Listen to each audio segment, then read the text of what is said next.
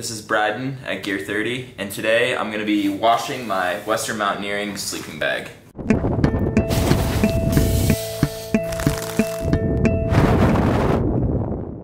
So this is the Western Mountaineering UltraLite 20 degree sleeping bag. I've had this sleeping bag for quite a while, and I think I've hiked with it for, I'd say almost 2,000 miles. I've been using this sleeping bag. I think it's safe to say that it's due for a wash. I'm gonna be following the instructions that Western Mountaineering provides on their website to wash this sleeping bag. So here we go. I really hope this works. Here's the sleeping bag. Here's the wash. Nikwax down, wash direct. I just filled this bathtub up with warm water. The instructions on this, it says to add 3.4 fluid ounces to your water. So I'm gonna do that now. Moment of truth. I fully unzipped it so I can just like really press it around.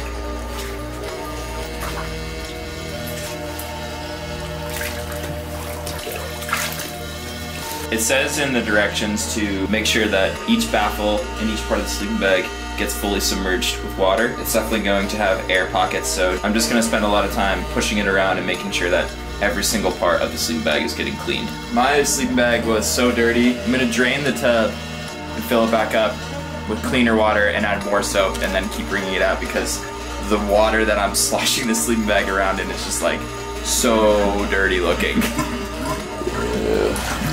Alright, so I feel like my bag is clean at this point. So now it's time to rinse the sleeping bag and get it free from soap. The instructions say to not wring out the sleeping bag. It says to use both hands and press on the sleeping bag. So that's what I'm gonna do.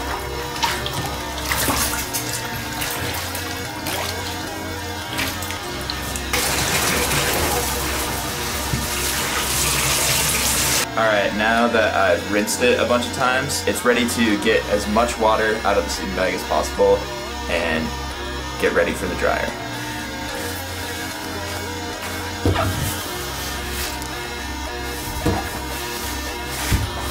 I'm gonna take the sleeping bag, put it in the dryer.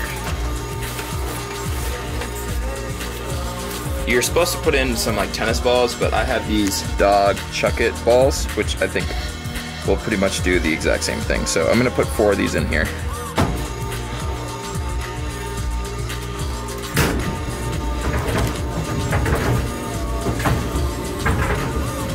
It's been about an hour and a half, so I'm gonna open up the dryer and see what it looks like.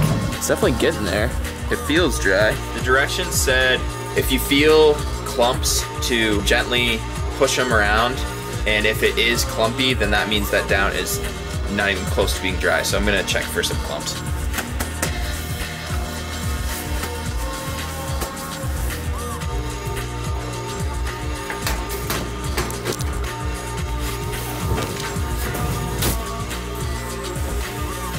Whoa. Yuki. This looks pretty clean, doesn't it? Holy crap. Look at that. This seriously looks like it's brand new. it's like just as lofty as when I bought it. Wow. The collar is lofty again, too. Wow. I'm gonna zip it open. The inside is super lofty, too. Wow. This sleeping bag is just as lofty as when I bought it and it looks like it's brand new. I'm super stoked right now.